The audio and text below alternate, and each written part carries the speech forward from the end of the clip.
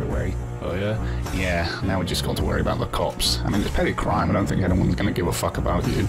You mean no one's gonna give a fuck about a malicious crime boss? This just in, coroners have confirmed the body of Daniel Owen, a well-known businessman and associate of the Sterling crime family. Sources are saying that many forces are working to take down the family once and for all by striking its leader. These forces include the LSPD, the FIB, the newest defence for Los Santos, the Defence Force for San Andreas, and the family themselves are setting out to stop this war once and for all. We can't win.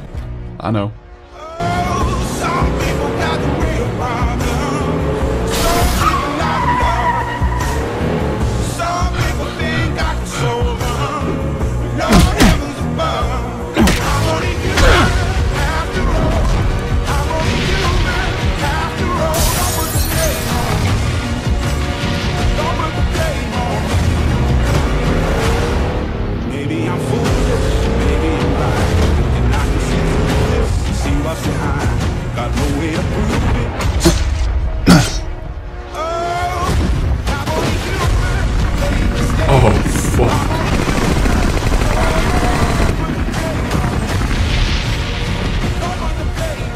Stop right there, Sterling.